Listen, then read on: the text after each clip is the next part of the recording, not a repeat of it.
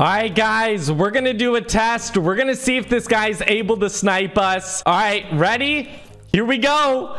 Here we go. I probably do this with more health, but I'll move around a little bit.